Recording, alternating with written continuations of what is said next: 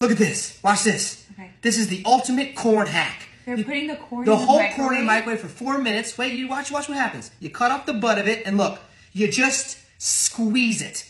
All the husk, all those little stringy things. Stop it. Look, Has look, this look, been a look, hack look, this look, whole look, look, time? look, Yep, yep, yep. No, you don't take anything off.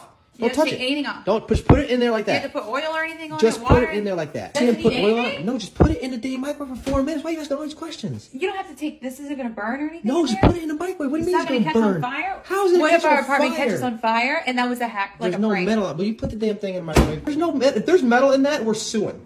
We're gonna own the grocery store. Let's put the metal in it. Cut right through it like butter, baby. The whole husk, all the way through. Squeeze it.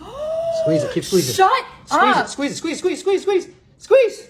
I'm gonna get you. Shut up. Ow! Whoa! It's perfectly cooked. Microwave corn ain't good. Don't lie to me. Taste it. Oh Right? yeah.